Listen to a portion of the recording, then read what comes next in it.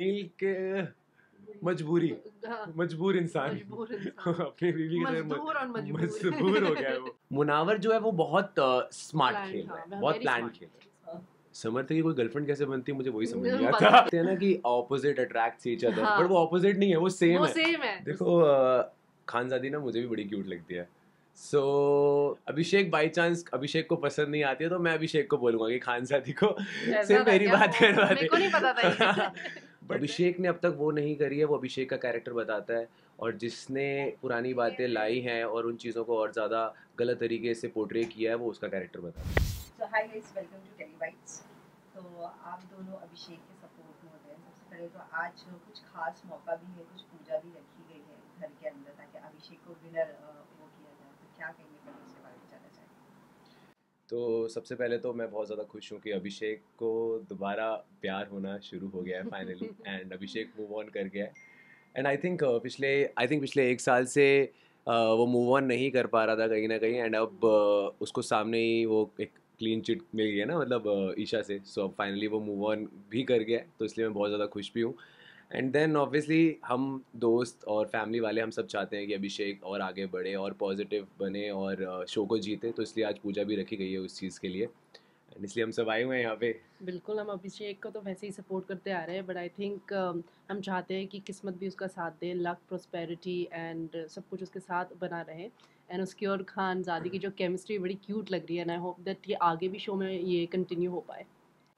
आपने clean chit की बात की, खैर, वो तो अभिषेक हमें बाहर ही आन बताएँगे। फ़िलहाल जो घर में, और जो इतना घमासान हुआ अभिषेक और ईशा के रिलेशन को लेके, उसके लिए आप क्या कहना चाहिए क्योंकि ईशा ने जो स्टार्टिंग डे पे ही उनके ऊपर एक एलिगेशन लगाया था फ़िज़िकल वायलेंस तो क्या अभिषेक वैसे है और ईशा का ये इल्ज़ाम लगाना क्या सही देखो, जब वो रिलेशन में थे, तब दोनों बच्चे थे छोटे थे एंड देन उनके बीच में बहुत सारी चीज़ें हुई हैं जो मैंने पहले भी और ऑलरेडी इंटरव्यूज़ में बात करी है उन सब चीज़ों के बारे में एंड अभी आपने देखा भी किस तरीके से अभिषेक ने बोला भी था सलमान सर के सामने कि वो ऑलरेडी बात करके आए थे कि पहले पुरानी बातें उनको नहीं लानी है बीच में क्योंकि ऐसी बहुत सारी बातें हैं ईशा के बारे में भी जो अभिषेक को पता है अभिषेक ने नहीं बोली है जो हम दोस्तों को उसने बताई है हमें जो हम्म। चीज़ें पता है क्योंकि वो नहीं चाहता है कि वो किसी लड़की की या फिर उस लड़की की जिससे वो कनेक्टेड था या जिसके लिए उसके मन में अभी भी सॉफ्ट कॉर्नर है, उसकी वो चीज़ें बाहर निकाले ताकि दुनिया को कुछ नेगेटिविटी या नेगेटिव पॉइंट मिले ईशा के बारे में।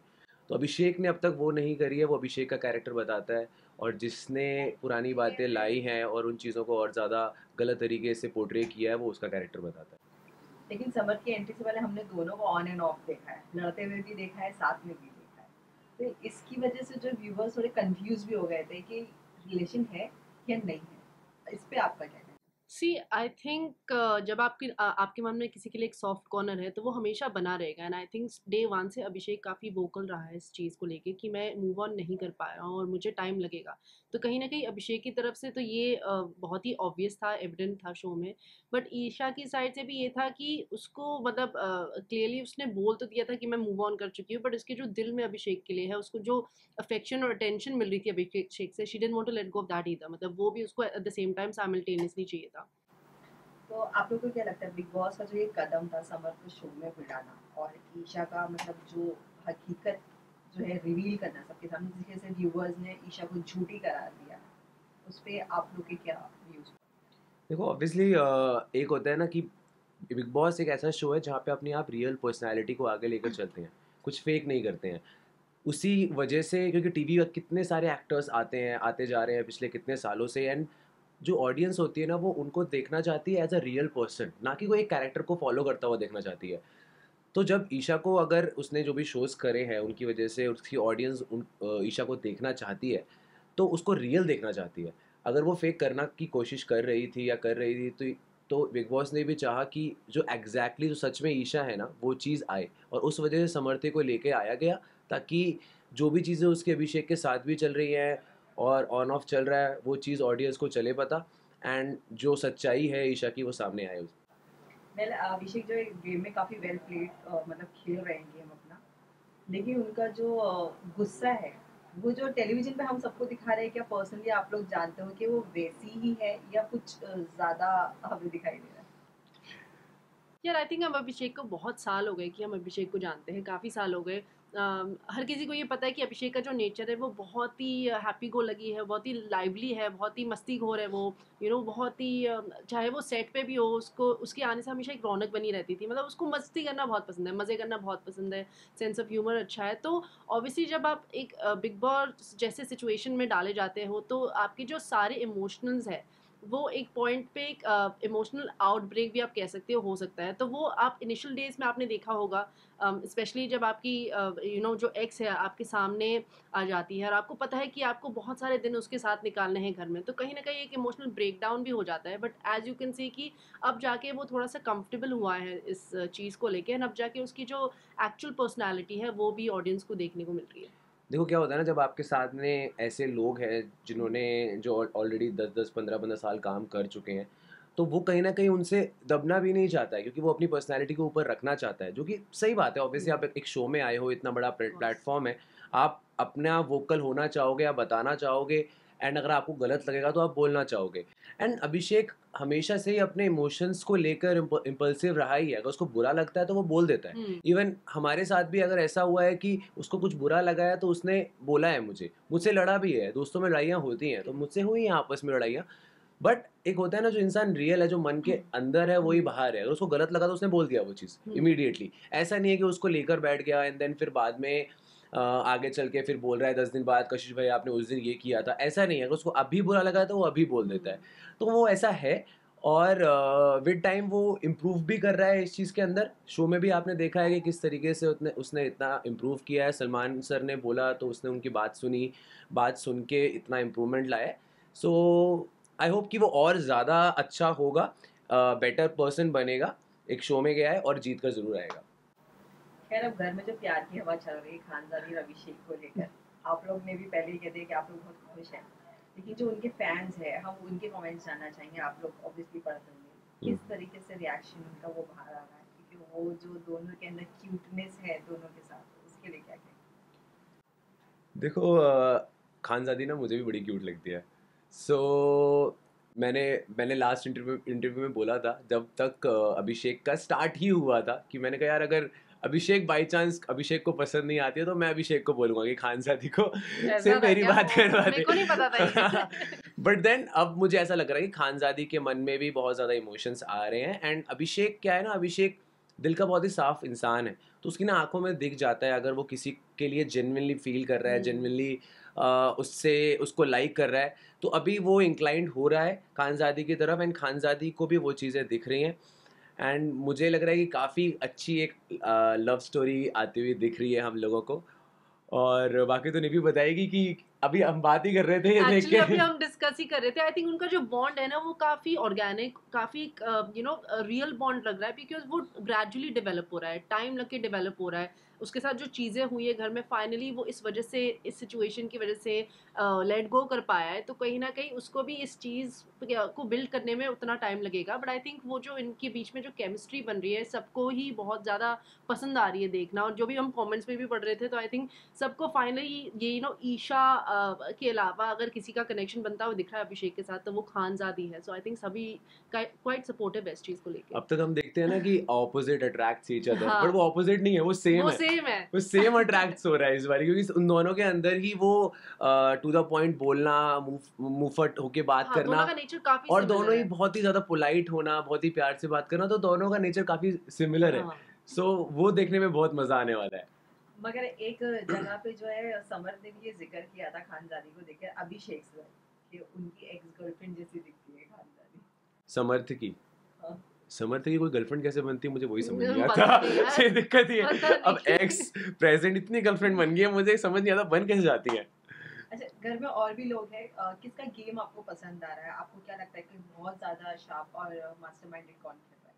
ये भी हमें बात कर रहे थे मुनावर मुनावर बहुत ज़्यादा मास्टरमाइंड की। तरह खेल रहा है। मतलब वो ऐसे खेल रहा है कि पता ही भी नहीं चलेगा किसी को क्योंकि हमने खुद दोनों ने रियलिटी शो किया हुआ है। हमें पता है कि गेम कैसे खेली जाती है। तो मुनावर जिस तरीके से मनारा के साथ में है ऑलरेडी उसको पता है कि मनारा हम्म। ऑलरेडी बहुत ज़्यादा फ़ेमस है। एंड uh, मनारा के चांसेस ज़्यादा हैं। और अभी उसको कुछ ज़्यादा कुछ करने की ज़रूरत भी नहीं है। बिग बॉस की फेवरेट भी है। हाँ बिग हम्म। बॉस की फेवरेट भी है। एंड देन अगर वो मनारा के लिए कुछ गलत करता है तो ऑब्वियसली बिग बॉस भी उसको गलत बोलेंगे या सलमान भाई उसको गलत बोलेंगे। तो उसको पता है कि मुनावर को कि इस लाइन पे स्टिक करके रहना है। एंड अगर दो महीने भी इस, इसके साथ निकल गए, तब तक उसका अपना पर्सनल एक कुछ आ जाएगा और उसकी वजह से वो आगे जा सकता है। तो मुनावर तो बहुत मुझसे बहुत डिफ़िकल्ट है कि आप स्ट्रेटेजिकली भी खेलो और नेगेटिव लाइमलाइट में भी नहीं हो मतलब बहुत वो बैलेंस करके चलना है ना, बहुत मुश्किल है। सो मतलब मुनावर जिस तरीके से खेल रहा है ना वेरी टफ बट बहुत मज़ा आ रहा है देख के। बट ये है कि फिर वो वो रियल वाली बात आ जाती है ना हाँ, कि अगर आपको फिर रियल रहना है तो फिर आपको थोड़ा सा इन सब चीज़ों से हटके चलना पड़ेगा। फिर आपको जो फील होता है वो बोलना पड़ेगा। तो अभिषेक जो है वो रियल खेल रहा है। मुनावर जो है वो बहुत स्मार्ट Planned, खेल रहा हाँ, है बहुत प्लान खेल रहा कपल्स में कौन पसंद आ रहा है? अंकिता विकी या ऐश्वर्या? कोई भी नहीं। देखो मुझको पर्सनली अंकिता वैसे बहुत पसंद है। हाँ। कपल में पसंद नहीं आ रहे। Individually, हाँ। इंडिविजुअली मुझे अंकिता बहुत पसंद है। और बाकी विक्की नील एंड ऐश्वर्या। ऐश्वर्या तो मुझे लगता है कि नील हाँ। संभाल कैसे रहे भाई? मतलब इन दोनों की तो मुझे कुछ समझ ही नहीं आ रहा है क्या करके बैठे में हाँ तो मतलब आई थिंक uh, मैं इन चारों में से सिर्फ़ अंकिता जी को सपोर्ट कर रहा हूँ और बाकी तीनों को तो नहीं। नहीं मुझे तो ऐश्वर्या बहुत ही ज़्यादा बदतमीज हाँ। औरत लगती है तो। हाँ वो अंकिता ने बोला था अंकिता जी ने बोला भी था कि वो बिलो क्लास बिलो स्टैंडर्ड हाँ मतलब वो हमेशा बिलो द बेल्ट वाली चीज़ें करती है हाँ। और नील भी उसके साथ रह रह के लगता है। उसके फ्लो फ्लो में वो भी वैसे ही बनते जा रहा है।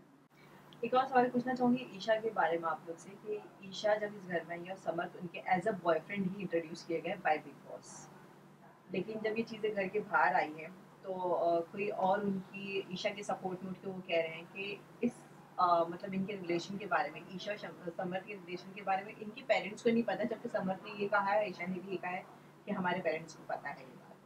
तो ये कितनी सच और झूठी बात है ये अगर आप लोगों को कुछ नॉलेज हो। देखो अ, सम इनके पेरेंट्स को ये पता था ईशा के कि सामर्थ्य और ये फ्रेंड्स हैं। हम्म, और बॉयफ्रेंड गर्लफ्रेंड है ये नहीं पता था। तो अब जब उनको चला है पता और जब वो बेड पे साथ में सो रहे हैं और वो सब चीज़ें कर रहे हैं जो कि ऑब्वियसली घर वालों को बहुत गलत ही लगता है क्योंकि mom dad dad government job में हैं उस ईशा के और ये सब चीज़ें देखना और सब लोग क्या होता है ना हमारे पेरेंट्स सबको बता देते हैं कि ये शो देखो हमारी बेटी आ रही है हमारा बेटा आ रहा है हम्म। अब पूरे फैमिली वाले रिलेटिव्स देख रहे हैं फिर उसके अंदर आप इस तर, जिस तरीके से ना मतलब जो मैरिड कपल्स हैं वो भी नहीं जा रहे हैं कर रहे हैं उस तरीके से ये लोग कर रहे हैं एंड उसके बाद में क्या दिखता है ना कि चलो ठीक है अगर कर भी रहे हैं ना तो समर्थ पीछे जाके बोल रहा है कि मैं और ये मतलब हम तो टाइम पास कर रहे हैं हम साथ में भी नहीं है। तो ये चीज़ें बहुत गलत लगती है कि मतलब आप रिलेशन में हो भी बट सिर्फ़ इन सब चीज़ फ़िज़िकल चीज़ों के लिए हो इमोशन से तो आप हो भी नहीं। तो इस वजह से आई थिंक उनकी मॉम डैड को बहुत ज़्यादा फ़र्क भी पड़ रहा है एंड अभी कुछ कुछ चीज़ें तो हमने सुनी है देखी हैं सोशल मीडिया पे भी। हाँ उनकी मॉम आई थिंक काफ़ी अनहैप्पी थी सिचुएशन। आई थिंक जो भी है आप नेशनल टेलीविज़न पे हो आपको एक बाउंड्री लेके चलना चाहिए। जो भी हो आप प्यार मोहब्बत है अच्छी बात है बट यू नो वल्गैरिटी जो है उस लेवल पे नहीं पहुंचनी चाहिए चीज़। अभिषेक को लेके समर्थ ने काफ़ी नेगेटिव बातें की थी शुरुआत में कि वो तुम्हारे साथ जब इतना फ़िज़िकल वायलेंस हुआ तो तुम फिर उससे बात करो। लेकिन अभी शो में जो समर्थ खुद कर रहे हैं चिल्लाते हैं वो हमेशा हम्म। ईशा के ऊपर तो क्या वो सही है? नहीं ऑब्वियसली वो वो भी गलत है मतलब गलत तो वायलेंस को तो मैं कभी सपोर्ट ही नहीं करता हूँ वैसे भी चाहे आज की बात हो कल की बात हो या कभी भी कराओ तो गलत तो वो चीज़ है ही। एंड समर्थ जो चीज़ें कर रहा है वो चीज़ें हम सबको पता है जब वो आया भी था मैंने तब भी बोला था क्योंकि उसने ऑलरेडी मेरे साथ में एक शो किया है। उस स्प्लिट्सविला में आया था एज अ वाइल्ड कार्ड एक दो एपिसोड्स के लिए। तो। हाँ मतलब उसके बाद तो वो रुक रुक ही नहीं पाया था। So I know what kind of a person he is and उसने उसकी इतनी हिम्मत ही नहीं है कि वो ये सब चीज़ें कर सके। वो ऐसा इंसान ही नहीं है। अभी जो भी वो जिस जो भी उसने किया है या जो भी वो कर रहा है वो आउट ऑफ़ एक जो पुराना बिग बॉस चलता हुआ आ रहा है या फिर जो जो चीज़ें होती हैं वो सब चीज़ों को देख के वो चीज़ें कर रहा है। As a person he is very soft uh, मैं कंटेस्टेंट के नाम लूँगी और आप दोनों के माइंड में जो भी उनको डिस्क्राइब करने के लिए वन वर्ड आता है आप मुझे वो। बताइएगा सबसे पहले विकी मास्टरमाइंड मेरे को तो अच्छा भी नहीं लगता मतलब कह रहा मास्टरमाइंड बोल तो तू पर मन नहीं कर रहा है बोलने का। है ना है ना मतलब ऐसे है कुछ आई थिंक डिप्लोमेटिक थोड़ी सी रोंदू।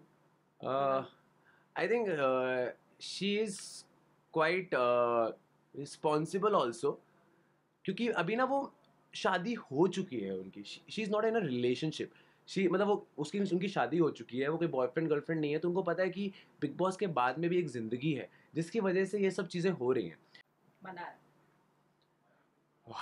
नौटंकी। भाई मुझे मना रहा ना बहुत ज़्यादा वो होता है ना नौटंकी। हाँ नौटंकी और ना मतलब ऐसा ना बहुत चुभती है कान में आवाज़ मेरे को ना जब मनारा बोलती है हाँ मतलब ऐसा लगता है कि वो एक ऐसे पॉइंट को प्रूव करना चाह रहे हैं जिस पॉइंट का कोई लॉजिक ही नहीं हाँ।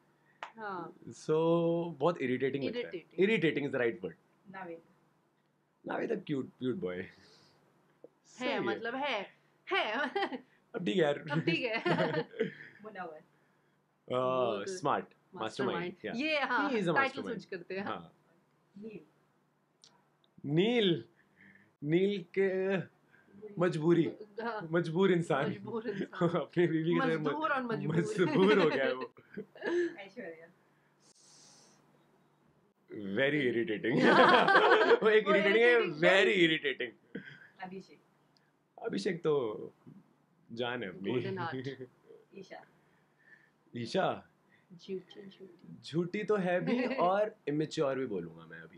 क्योंकि झूठी के साथ साथ तो इमेच्योर। ज़्यादा। इसलिए मैं बोलूँगा क्योंकि अगर समर्थे आ गया था और उसने बोल दिया है कि मैं बॉयफ्रेंड बोल के आया हूँ और ये सब चीज़ें हैं बोल के मतलब हूँ बॉयफ्रेंड तो उसको एक्सेप्ट कर लेना चाहिए था। क्यों उसने उसको इतना स्ट्रेच किया? टॉक्सिक हाँ झूठी से ज़्यादा वो इमेच्योर टॉक्सिक वो वाली चीज़ें ज़्यादा है। इमेच्योर ज़्यादा है वो। समझ। न्यूब ओवर एक्टिंग की दुकान। वो भी थोड़ा सा नया नया है हाँ। उसको ओवर द टॉप जा रहा है। हाँ। बस। रिंकू जी। इनको जी अच्छी है मतलब sensible Jigna ji. Jigna ji is also hard working also पूरा खाना घर का खाना बना ही रही थी वो Responsible, हाँ। रिस्पॉन्सिबल तो हाँ we like lastly Kashish fans को क्या कहना चाहेंगे और कुछ अभिषेक के सपोर्ट में अगर आप कुछ फैंस को मैं यही बोलना चाहूँगा कि जितने भी मेरे फैंस हैं, वो लोग प्लीज़ जाके अभिषेक को सपोर्ट करें, जब जब रिक्वायर्ड हो। और वैसे भी करते रहे, हमेशा ही करें। और अभिषेक के जितने भी फैंस हैं, उनको मैं बोलना चाहूँगा कि थैंक यू सो मच इतने अच्छे अच्छे एडिट्स बनाते हैं आप, इतने सारे कमेंट्स करते हैं। ऐसे ही करते रहिए और बहुत सारे करते रहिए। हमको आपके प्यार का बहुत ज़्यादा ज़रूरत है। और अभिषेक को जितवाना है। So Big Boss even uh, Big Boss season 17 Abhishek hi jitega. Thank you for your love and support everybody. Lots of love. Serials on sets to personal interviews and fun segments with actors. Subscribe to Telebytes right away.